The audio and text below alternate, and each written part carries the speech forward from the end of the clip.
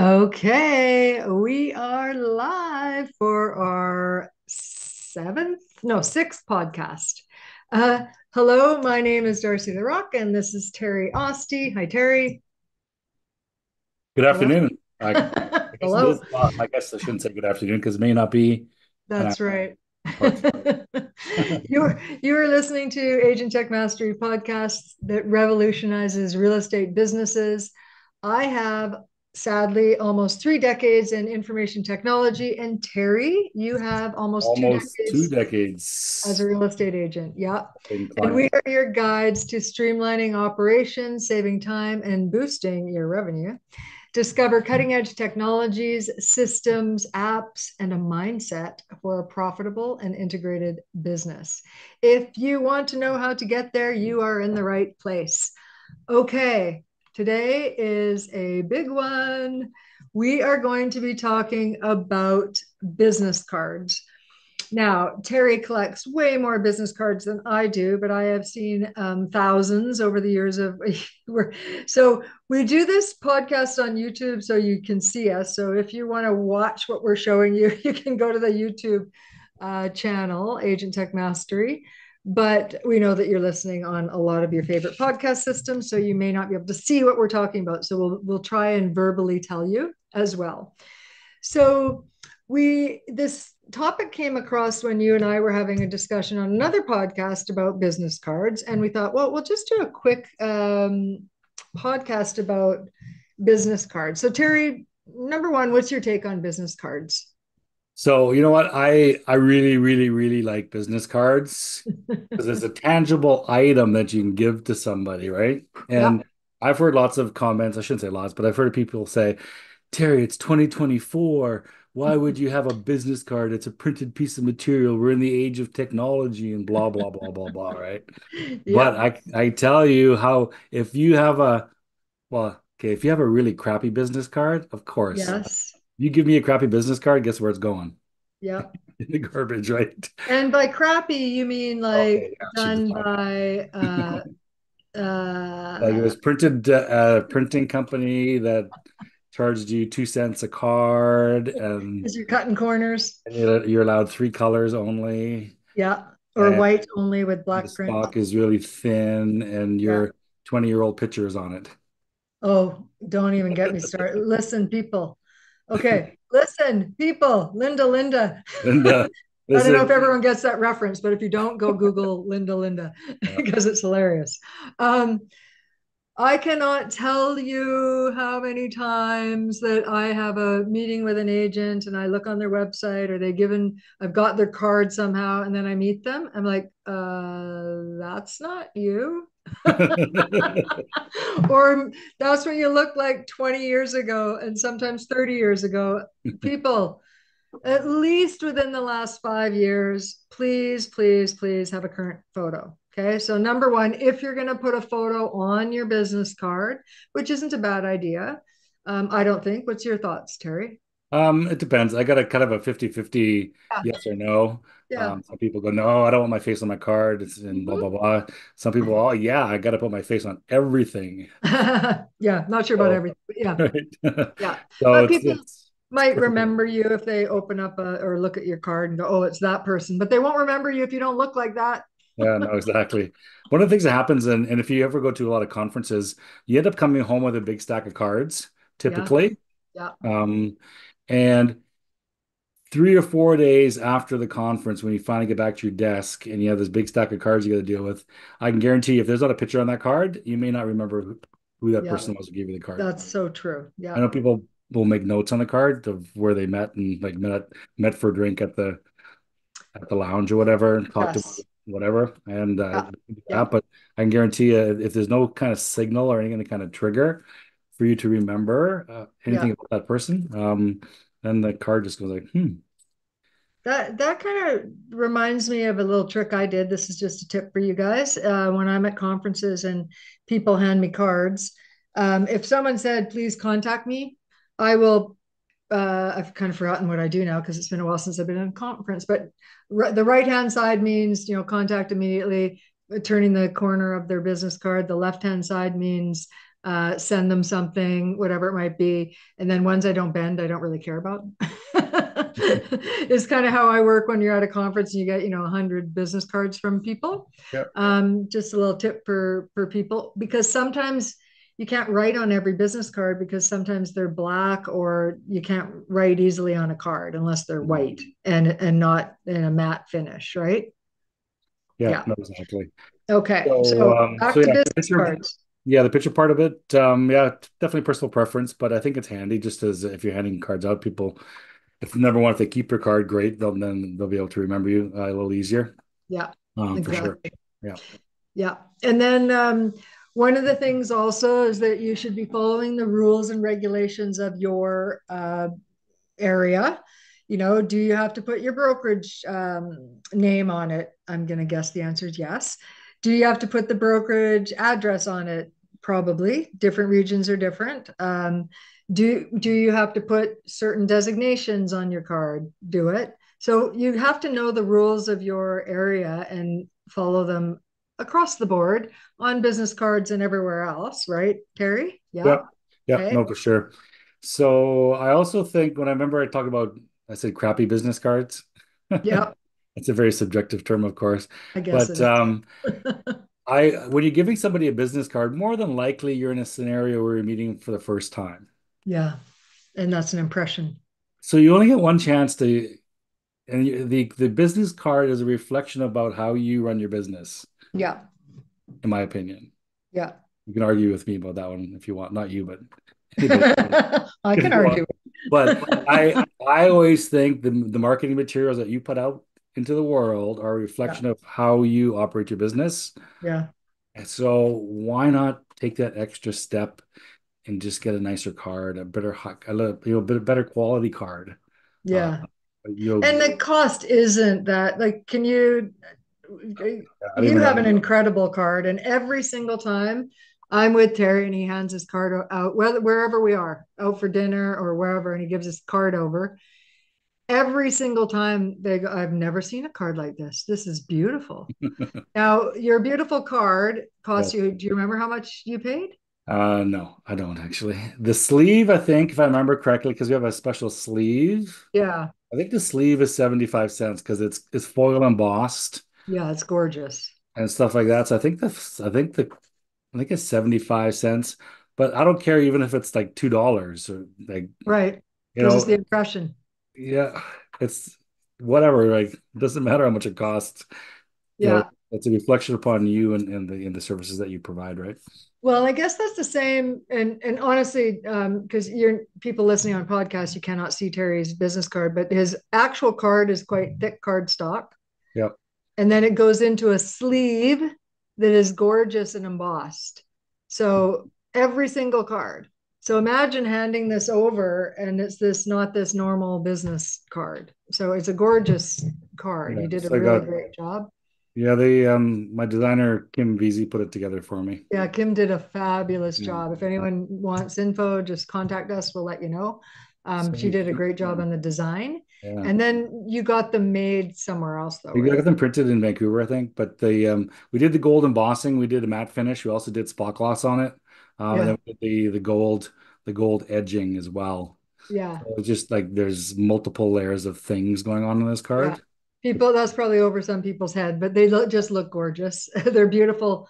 They feel um, rich. People don't Like want to throw them away. No, because they're gorgeous cards. And so, you Mhm. know, it, food for thought for agents. And then on the flip side of a business, not the, I don't actually mean the flip side of a business card, but the information is also critical on a business card. And then again, watch our other podcasts because we go into this in more detail. We'll probably talk again because I've talked for 30 years to businesses about what to put on business cards and how to set up your business appropriately. So, if you if it was Terry and you as another agent and you're computing for business and Terry brings this really professional business card to the client to the listing appointment let's say all the marketing materials are professional. Um, he does he doesn't take pictures with his camera his own uh, phone of the um, location. He looks very businesslike like he's a true professional And then another agent has this flimsy card that has their Yahoo email on it, no website, uh, and their cell number, which is full. I can't tell you. Here's another thing. This drives me bonkers. And I don't think I've ever mentioned this to you because we make a lot of calls to agents. And I cannot believe how many times I've called someone and their voicemail is full. No, really? yes. I don't think I've ever told you this because oh. it just it's shocking to me. It's like you are a agent. You cannot have a full voicemail because you don't know. Maybe I'm not going to text you. I'm like, oh, well, that's weird because I'll, I'll call you tomorrow. Oh, it's still full. Oh, I'll call you next week. Oh, it's still full. And you don't know that because you don't know how to check your voicemails. Like it makes no sense. Okay. So please, that's another tip for you. Please make sure you have enough storage in your system for anyone's voicemail messages or have them auto delete after so many weeks or days after you've listened to them. It makes no sense. Um, oh my gosh, I went on a rant. Okay. So back to the, the business card. Your mobile number that you answer, or we can leave a message and respond to text messages as well. Right? Correct. What um what do you think about QR codes on business cards? Yeah, I am. Well, I think it's not like you're a plant in the audience, but uh, you guys can't see it. I'm holding up a QR business card that I have. Um, so what about and, QR codes on just your regular business card? What do you think? I, you know, I have mixed feelings about the QR codes. I guess it depends on where it's sending people to.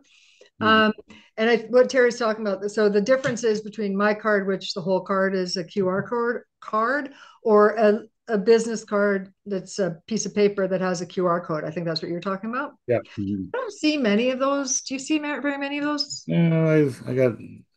Uh, no, I don't see very many people doing that but it's a it's an opportunity for sure. But I tell about tell about your OVOU card. I will tell you guys about the business card. I so, but the, but there's also two sides of things. So let's go back to real estate agent business cards. So now you have two types of business cards, I believe. So when you go do a showing, and this is we're probably going to get people commenting on this, and I don't understand why people think it's a problem, but I'm on Facebook groups with agents, and I see people commenting about the old school way of when you go into a uh, showing and you leave your business card on the counter. I think it's it's incredibly good to do that. Shows you're there. Like, can you explain that a little bit when we talk about leaving business cards? What your thoughts are? Because I see a lot of agents saying that's so old school and stupid, and I like I think it's a good idea. But let's hear Terry's. Yeah, so where where where I work, it's kind of expected to leave your business card. Number one, it proves that you were there. Yeah, and you just didn't give your clients the lockbox code, and they they went in by themselves, which is a totally a contravention of our code of conduct. Yeah, uh, don't yeah. do that. Um, it does happen though, so it proves that you actually were there. And then um, I've had I've had clients on my listings where we used a lockbox on it, and then they would call me and say, "Hey, the agent didn't leave a card," and they were angry that the agent didn't leave a card, right? right. So, yeah. um, but um, it costs nothing to do. So why I don't understand why people are even complaining about this. Yeah. Leave a card. Yeah, for sure. And you you don't leave your fancy card though. Oh yeah, not with the sleeve on it, but uh, not with the sleeve, but the, you just leave the you, you leave the sleeve for real people, yeah. and then the other ones you just you just yeah. put the card on the table. Yeah, no, for sure. The okay. um, I know some agents that make they make special cards, and they the, it'll look like their regular card, but mm-hmm. it'll just say thank you for letting us come to your home today to view it. Oh, okay, nice. Yeah, that's so, smart too. Yeah, but I do not bad. Yeah, it's just um, you know a courtesy of, of, leaving your card when you go do a showing i i don't understand when i was there was a facebook feed about this and there was people saying what a jerk this guy why did he leave a card? He's trying to get the business from the the listing agent. Like that's not the reason for it. Like like hello. Yeah, i can see that especially if the buyer's agent has a nicer card than you. Yeah right. Yeah yeah yeah, yeah. then maybe like oh geez look at this nice card. Right? Exactly. But uh, I've never heard of in 20 years anybody getting a listing because they left a really nice business card and their list and their sellers fired them. Yeah, right. That makes no sense. Yeah. Okay. Fair enough. Okay. So we're going to talk a little bit about digital cards because you have one too. After I got it, I showed Terry, and you have one as well. So there are a ton of digital cards, and what that means is like I know you guys can't see it who are listening to this podcast, but I've got a um, a plastic card that I don't actually, I personally don't carry business cards around. I am not an agent. I just help agents. So my business is different. I think you guys need the physical cards for some things. Um, but just thinking about it, like this is a beautiful card. It's got my logo on the front, it's got my name on the front, and it's got a QR code. QR code that is embossed and beautiful and gold. Everything like this looks like a fancy card.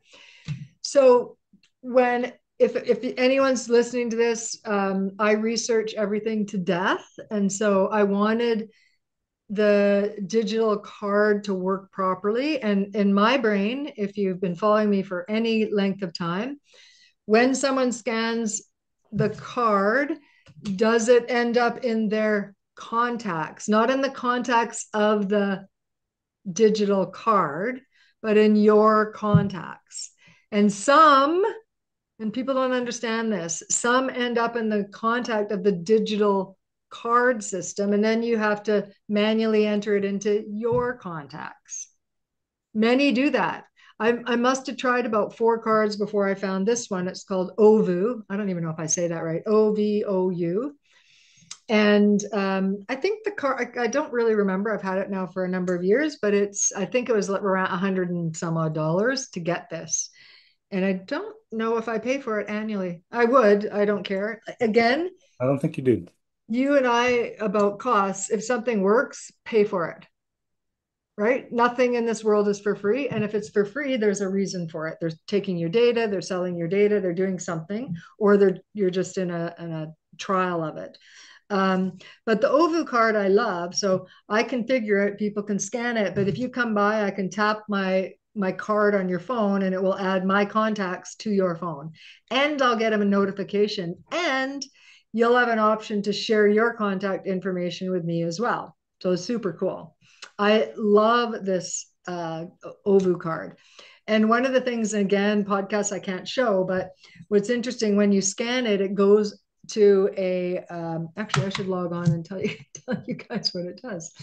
OVOU. Let's see if I. Oh no, I can't. I can't show you forget it. Um, it goes to a landing page on OVOU that has um, a little video of me saying hi, it has links that every person when I'm at a conference would want to know about a copy of the presentation, uh, some downloads and some other checklists and other things that I am consistently talking about. So everything is on that page. So I don't have to update my business card ever. I update the landing page and it's kind of like I think some agents use Linktree. It's similar, like Linktree is just a like a landing page where your information is. This is better, I think, than Linktree, but because I just have to have this one card and I update whenever I need to, I update the information on the landing page. Any comments about that, Terry? No, it's good. Um, I think, like for me, I like the idea of having both yeah. If I want to give somebody a tangible piece of uh, printed material, I can. But if it's someone who's tech savvy and says, "Oh, I don't want to carry a card around," I just bring on my OVOU and say, "Here, tap, and you're good to go." Right. So that's right. Yeah, and it and it literally says in the notes that it came from OVOU, so you'll always know where they got the card and the date. I think is on there as well, mm. and so it's a pretty cool system. I'm just looking it up now. Okay, yeah. So my um, my public view, I'm just going to go look. Yeah, it, so I have all my social media links on there. I have uh, a link to book a complimentary review with me, uh, a video to watch for agent training that's free, uh, some checklists, our YouTube channel, um, testimonials, and a video of me just talking about systems and things. And then, of course, the important stuff phone number and email and website. Okay. So I love I love the digital card and I find it extremely useful.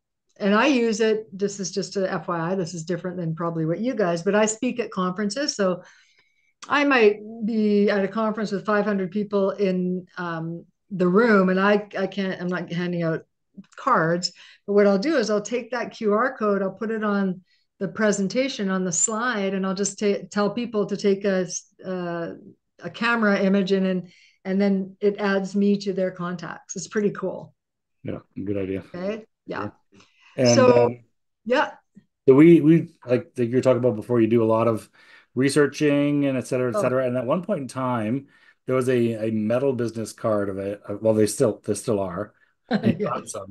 Yes. Remember what happened at the airport? So oh my god, yeah. And so I did get it because I wanted to stand out too, um, and I didn't really do the sleeves like Terry. So I bought these yeah metal business cards, and they were cool. But every time I would hand it to someone, they'd make a joke about drugs as well. And I'm like, okay, that's not really what I was going for. That wasn't even in my radar when I got the metal cards. And and then they weighed a lot. So if I took a stack of business cards with me to a conference, I like they weighed a lot, and it, you know, luggage is expensive by weight. And yeah. then I got um, what happened at the airport? Every time you go through security. Yeah, because it would be in my carry-on. It was a big block of steel. I get stopped because it's like, what, what has she got? Carry-on. so, there? I, there? I ended up recycling the business cards because they were not useful and they were so heavy. And really, I've just come across this OVOU one after I did all this research and testing, and I've now been using it for probably through. I don't even know. Do you remember how long it's been? Three or four years? Yeah, at least yeah. At least that, yeah. So anyhow, if you're looking for a digital business card uh, that looks nice, uh, check out OVOU, O V O U. Mm-hmm. Uh, any parting uh, shots, Terry? Well, all I can do is if you are using printed business cards, don't cheap out on them. It's like, oh, gosh, like you, you can go, okay, well, I'm going to get a thousand cards for 200 bucks. Yeah. Okay, spend 400 bucks get some yeah. better cards or spend 500 bucks whatever whatever the number is it's yeah. such a little amount of money to actually present yourself in a better light and you might get some really cheap ones that you just you know when you do buyer tours those are the ones you leave at the other homes just to show you that you were there if you want to save a few pennies yeah. on, a, per card but if you're going to present your card to a potential client it has to be has to be nice yeah well and you know i was just thinking of something when you were saying that is that I talk to agents who switch brokerages a lot. Mm-hmm. So every time you switch a brokerage, it's going to cost you money. So that's food for thought as well about, um, you know, why are you switching? We actually, you know, we should have a topic about that on one of our podcasts about brokerages. people who switch brokerages all the time and mm-hmm. the costs involved. And one of those costs would be you have to get new business cards every single time right? Correct. And so you just spent 200 bucks and then you leave in a year and you spent another 200 bucks and then you leave in six months and then you got to spend another 200 bucks. Sometimes that's covered in the fees, but they usually give you a cheapo business cards, right? Yeah, they'll go, we'll give you some free business cards and you get 200 of these really awful looking cheap cards. yeah. And okay. And here's, oh my gosh. And what's on the business card that they provide? Their email address. The brokerage. Yeah, the brokerage email address they have given you. if you don't know why I'm saying do not do that, I want to swear right now. Do not use it. Do not use a brokerage CRM. Do not use a brokerage email. Do not use the cards that they give you. Please go back and watch the other uh, podcasts we've done on email addresses and the importance of it and owning your own data and it's so so so so important. Okay so i almost said that was the last thing we are going to talk about but um, any other things you want to talk about terry about business cards? No i uh, I, i'm a fan of printed business cards. Um, i think there's a place for them. I'm also yeah. a fan of the electronic ones as well where you get to scan it tap it do yeah. whatever. Yeah. It makes you look cool well. too. Yeah, on top of things right? But, um yeah, it's uh, but the, at the end of the day, for me, it's it's whatever your mark like business cards are part of your marketing package. Yeah, the look and feel should be the same as all your other materials. Yeah, and um, hopefully, hopefully you spend that little extra money to take it to that next level. Because I, I have a you can't see this. I have a stack on my desk about inch and a half thick of cards that I haven't put into my CRM yet.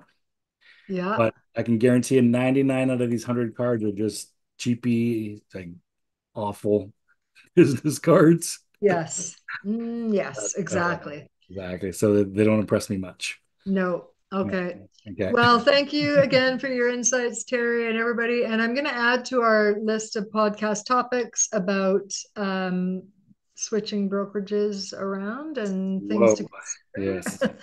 um, so yeah so if you're stuck and piecemealing your business together let's get you where you want to go if you want help to do that book a call with agent tech mastery at agenttechmastery.com slash apply pod and it's absolutely free and possibly the best call you have ever had to change your business again www.agenttechmastery.com slash apply pod. Look forward to seeing